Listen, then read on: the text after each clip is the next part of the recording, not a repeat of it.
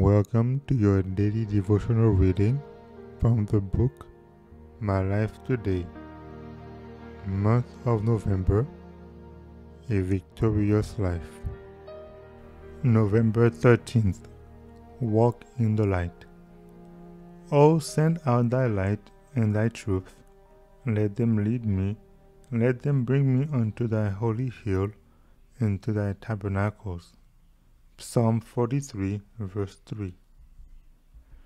In these days of peril, we should be exceedingly careful not to reject the rays of light which heaven in mercy sends us, for it is by these that we are to discern the devices of the enemy. We need light from heaven every hour, that we may distinguish between the sacred and the common, the eternal and the temporal.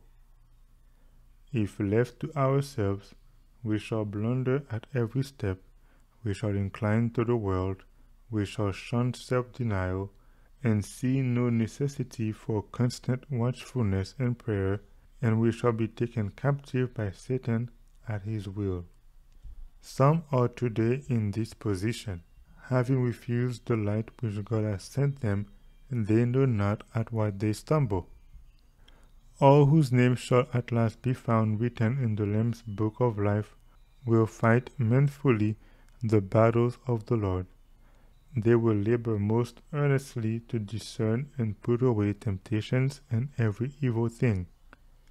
They will feel that the eye of God is upon them and that the strictest fidelity is required.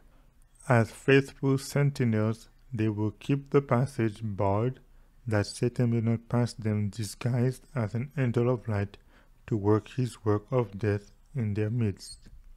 The white robed ones who surround the throne of God are not composed of that company who were lovers of pleasures more than lovers of God, and who choose to drift with the current rather than to breast the waves of opposition all who remain pure and uncorrupted from the spirit and influence prevailing at this time will have stern conflicts. They will come through great tribulation. They will wash their robes of character and make them white in the blood of the Lamb. These will sing the song of triumph in the kingdom of glory. A Victorious Life, November 13th.